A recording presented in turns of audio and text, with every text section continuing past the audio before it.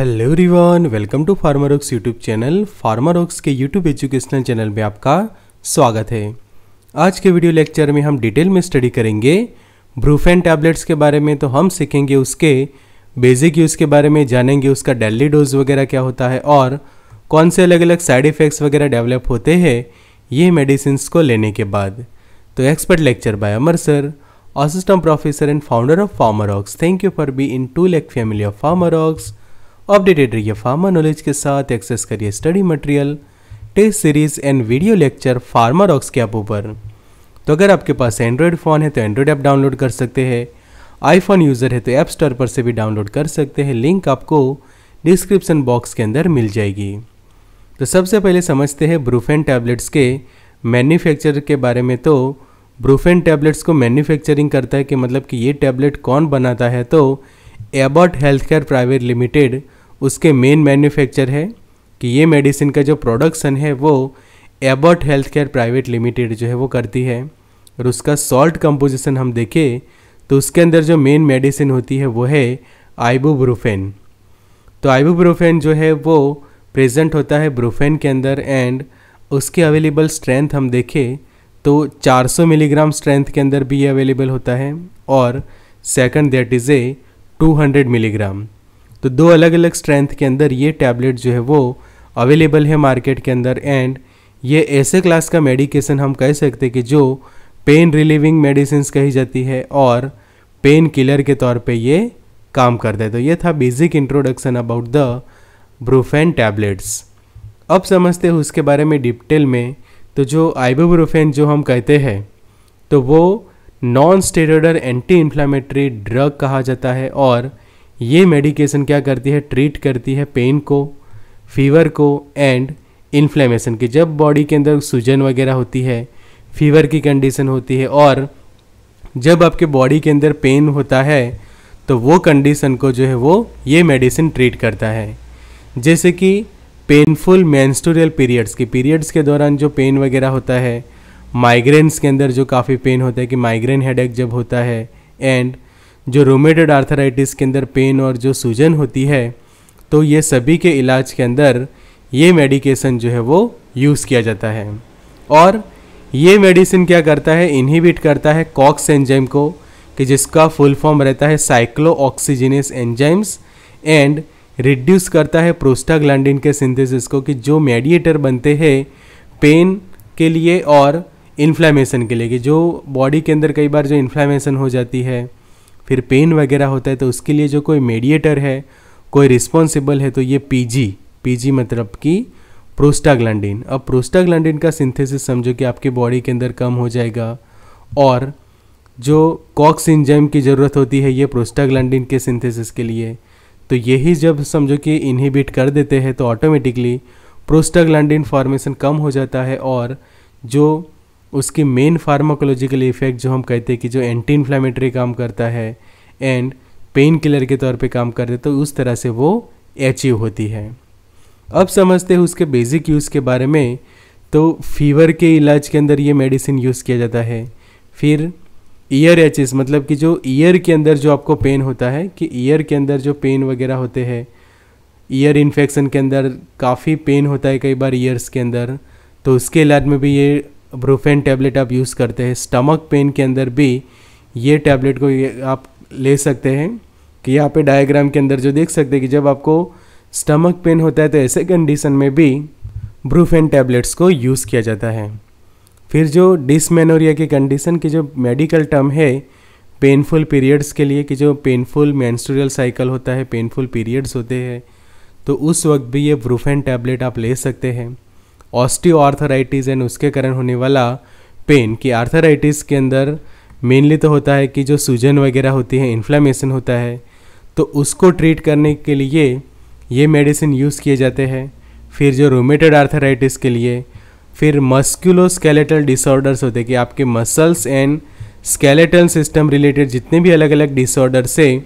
कि जिनके अंदर इन्फ्लेमेशन एक मेन है पेन वगैरह होता है तो ये सभी के इलाज के अंदर ब्रूफेन टैबलेट्स को यूज़ किया जाता है, फिर हेड है, फिर बैक पेन की जो हम बात करते हैं टूथ की जो बात करते हैं कि जो टूथ के अंदर आपको पेन हो रहा है, बैक पेन हो रहा है तो ये सभी कंडीशन को ये मेडिसिन जो है वो ट्रीट करता है।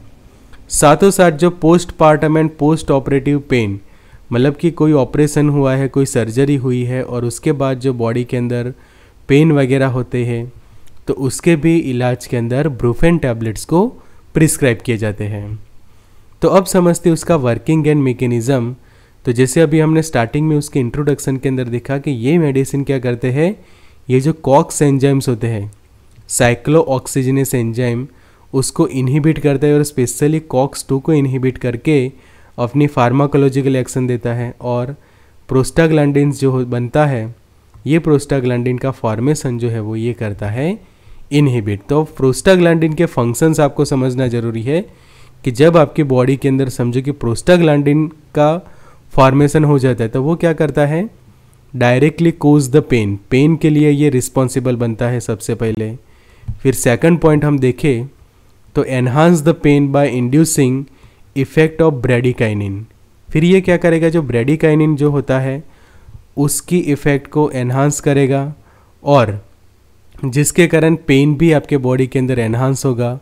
इंड्यूस करेगा फीवर फिर देखें तो मेडिएटर बनेगा पेन के लिए कि उसके कारण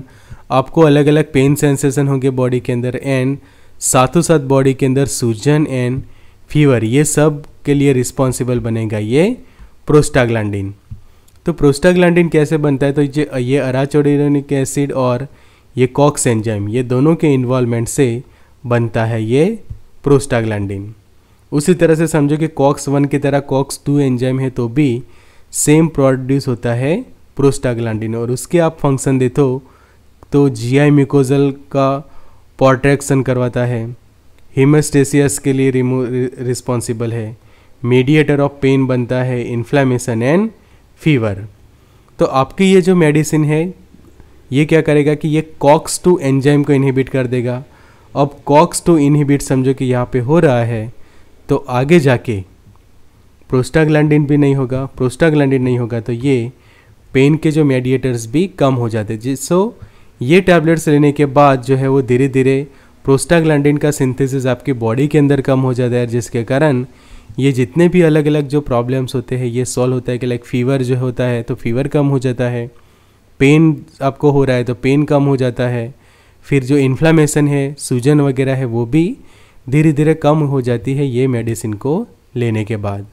So ibuprofen inhibit the COX enzyme and suppress the synthesis of prostaglandin which are a mediator of pain inflammation and fever की ये पॉइंट ऑलरेडी हमने समझ लिया and in also inhibit the thromboxane A two which stimulate the platelet segregation and formation of blood clot तो mainly तो यहाँ पे उसका हम देखिए तो कॉक्स टू के ऊपर ही सबसे ज़्यादा इफ़ेक्ट है।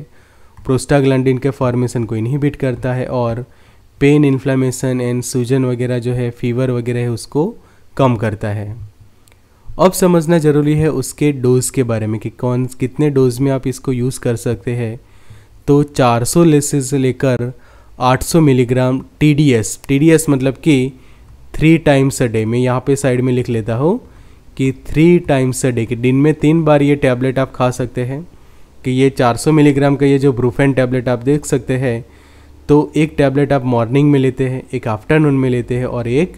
नाइट में। तो इस तरह से वन वन वन इस तरह से प्रिस्क्रिप्शन जो है वो तैयार हो सकता है कि अगर 400 मिलीग्राम का आप टैबलेट यूज़ करते हैं तो वन वन इस तरह से कि मैक्सिमम आप तीन टैबलेट जो है वो ले सकते हैं दिन में। Start with the lower dose and छोटे बच्चों के लिए यह डोज रहेगा 20 मिलीग्राम पर केजी पर डे के। समझो कि बच्चे का वेट समझो कि 10 किलोग्राम है तो उसको जो है वो आप 20 मिलीग्राम का ये जो टैबलेट है, वो दे सकते हैं। तो एक किलोग्राम वेट है तो 20 मिलीग्राम 10 किलोग्राम है तो 200 मिलीग्राम सो इसी के कारण ये 200 मिलीग्राम की स्ट्रेंथ में भी अवेलेबल है। अब समझते हैं उसके साइड इफ़ेक्ट तो गैस्ट्रिक डिस्कम्फर्ट करवाता है और उसके कारण आपको नोज़िया एंड वॉमिटिंग जैसा हो सकता है कि अगर आप उसको लॉन्ग टाइम तक यूज़ करते और साथों साथ ओवरडोज के अंदर यूज़ करते हैं तो आपका ये जो गैस्ट्रिक जो हम कहते हैं रीजन गैस्ट्रो इंटेस्टनल ट्रैक वहाँ पे ये सबसे पहले नोज़िया करवा सकता है कि जी मचलना वगैरह जैसी कंडीशन और उसके बाद पर्सन को हो सकती है वॉमिटिंग गैस्ट्रिक इरोसन करवा सकता है एंड ऑकल्ट ब्लड लॉस कि गैस्ट्रिक इरोसन्स मतलब कि जो लाइनिंग्स वगैरह होते हैं म्यूकोजल मेम्ब्रेंस वगैरह होते हैं, हमारे इंटरनल ऑर्गन और स्पेशली जो स्टमक वगैरह है गैस्ट्रो इंटेस्टाइन के अलग अलग रीजन है तो वहाँ पे ये इरोजन करवा सकता है, उनको डैमेज कर सकता है। अगर आप उसको लॉन्ग टाइम तक यूज़ करते हैं डिजीनेस जैसा फील करता है पर्सन मतलब कि नींद वगैरह जाना, उबासिया लेना, वगैरह प्रॉब्लम होते हैं फिर ब्लरिंग ऑफ़ विज़न विज़न अपली ब्लर्स हो सकती है। टीनाइटस जैसे प्रॉब्लम हो सकती है ईयर रिंगिंग जैसे साइड इफ़ेक्ट्स डेवलप होते हैं। कई बार स्किन के ऊपर इस तरह से रेसेस डेवलप होते हैं कि अगर आपको ब्रूफेन के अंदर रहा, ये जो आइबू ब्रूफेन है, उसकी समझो कि आपको एलर्जी है।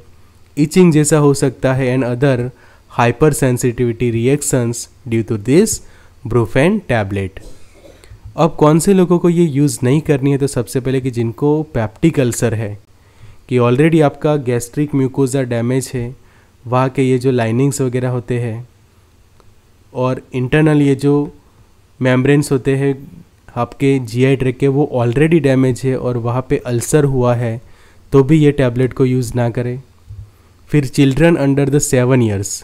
कि छोटे बच्चों को ये नहीं देनी है कि जो सेवन ईयर या फिर उससे कम एज के चिल्ड्रन से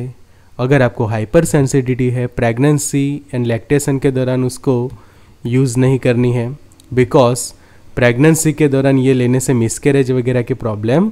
हो सकते थे। Avoid taking ibuprofen first thirty week of pregnancy कि प्रेगनेंसी के जो थर्टी वीक्स तक जो है वो आप आइबोप्रोफेन को यूज़ ना करें because taking ibuprofen in the first thirty week of pregnancy में lead to increase the risk of complications and including miscarriage कि अबोर्सन हो सकता है मिसकैरेज हो सकता है, जिसको हम कहते हैं प्रेगनेंसी रिलेटेड कॉम्प्लिकेशंस वगैरह हो सकते तो ब्रोफेन टैबलेट्स को आप प्रेगनेंसी के दौरान यूज़ ना करें। Same like that breast feeding का जो पीरियड है लैक्टेशन पीरियड है, उसके दौरान भी आपको यूज़ नहीं करनी है। तो ये थी special information about the Brufen tablets thank you for watching join कर सकते हैं व्हाट्सएप ग्रुप एक्सेस कर सकते हैं study material test series video lecture Pharmarocks के आप ऊपर। So good luck and all the best